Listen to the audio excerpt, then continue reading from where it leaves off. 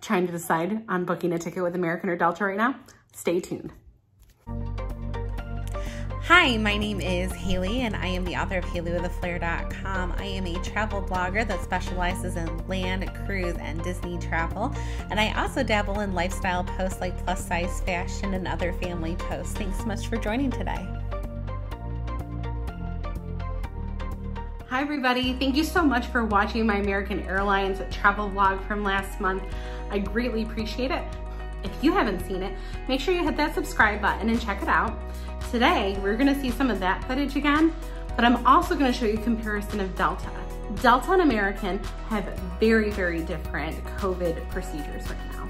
For example, the biggest thing, Delta is blocking middle seats, American is not blocking middle seats.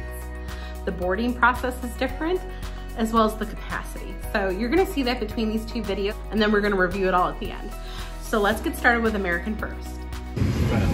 So we made it on board and we got row eight on this Embraer commuter jet because all the seats ahead of us are extra money. There's nobody ahead of us. Nobody. All these seats cost extra money, even though they look the exact same as what we have. And that's all of us. We are sanitizing. These are genius. These are awesome. Yay! So for as much as I fly, this is the first time I've seen these. Now your neck doesn't hurt. Put it in there, Jeffrey. Sweet. And I got a USB And it's got a USB charger. That's cool. Boarding, we each got one of these. There's a mini bottle of water, pretzels, and a hand sanitizer wipe.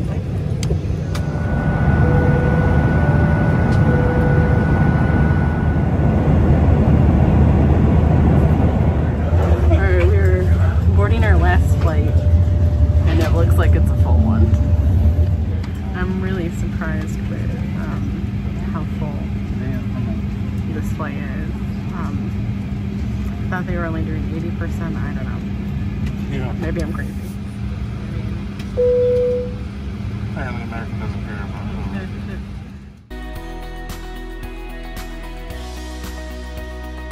it. section is called for boarding. Again, we'll begin uh, bo- uh, boarding by rows. This will follow our normal pre-boarding procedure. Ken, my name is Stuart. If you have any questions, uh, feel free, free to come up. You got your boarding document. You're all set. We do offer uh, only essential uh, offerings during the food and beverage service. If you would like to bring on anything you purchased here gate area, you're welcome to do so with the exception of uh, alcoholic beverages. Face coverings are now required throughout your travel journey with Delta, including the full duration of your flight. If you or anyone in your party needs a mask, see me here at the podium as well. So I didn't anticipate being able to show you guys a different airline, but here we are. I am back on Delta because of all the craziness that happened with American last night. I just booked new tickets for the way home out of San Antonio. We'll explain that a little bit later in this video, but uh, remember Delta is blocking out the middle seats. They're gonna be boarding a little differently than American, so uh, let's do a comparison. All right, so we're getting Purell when we board. There we go. There's your reminder to be respectful. Much less crowded boarding process and definitely not as full. Not as chaotic. Now they're going around collecting these that they handed to you when you got on board because they don't want it shoved in.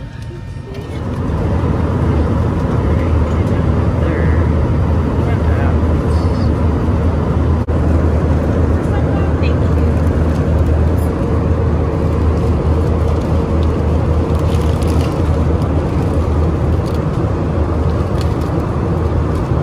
So definitely less chaotic. They're making people go row by row and requesting that you wait six feet. Alright, so here's the Sky Lounge. Everything is pre-packaged. Still kind of buffet style, but pre-packaged. So we made it onto this flight. As you can see, not jam-packed. Got the wipes and everything like last time, cleaned off. Don't worry, that's not a true middle seat, that's the exit row. And as you can see, not a lot behind us. That's what the form stuff looks like. It was. so if you don't film out ahead of time, they show you the notice. You can scan it with your phone or you can fill it out here. So that's the deal. So the main theme of flying during COVID-19 and all that jazz is everybody has a questionnaire.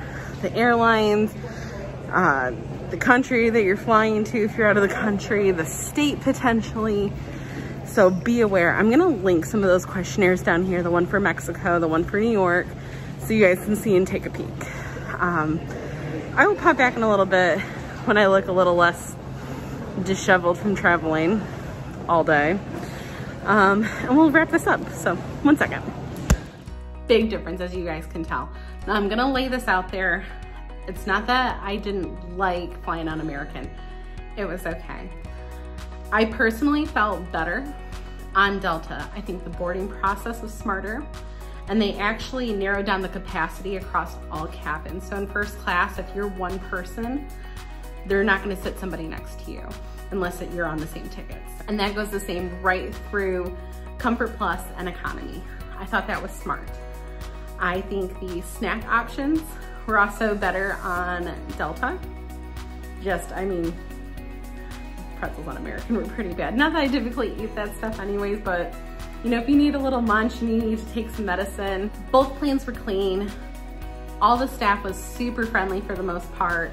Really didn't encounter any bad customer service issues. I think overall, if you want to spend a little extra, if Delta's more money and feel safer, go about that. If you're gonna book American right now during COVID, buy the middle seat. That'll help you feel more comfortable because honestly, American's having some really cheap airfare. So if you're gonna go somewhere, sometimes buying the three tickets with American is going to be cheaper than the two tickets with Delta if it's a couple or if you're just one person. If you are curious how to buy that third seat, there's a whole process. I have a blog link down there that tells you how to do that. You just can't book another flight for yourself online. They're gonna cancel that ticket and it's a headache, so. Make sure you guys check that article out. If you have questions, please leave it down below and stay tuned because my Mexico series is just about ready to go live, so you should start seeing that next week. Bye guys.